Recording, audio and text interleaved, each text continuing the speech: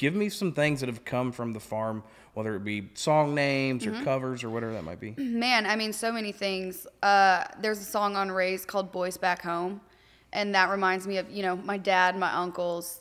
I had tons of cousins. Everyone was afraid to date me because my cousins were state wrestlers and they were like Oh, afraid they'd get Yeah. the crap beat out of them, you know? Um, but it's about like those tough, strong, blue collar, hardworking boys that um, I grew up with and, you know, that kind of raised me. And um, there's a song on my record called Middle of America yep.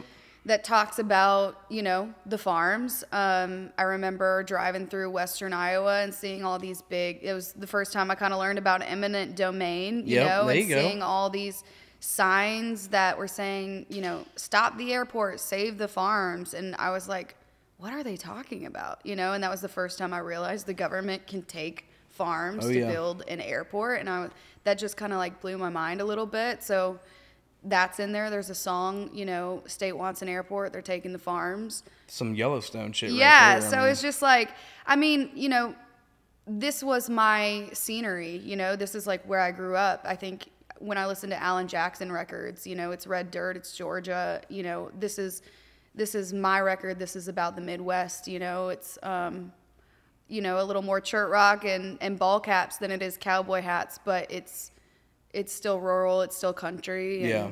And so this, I was just kind of painting through the lens that I had growing up.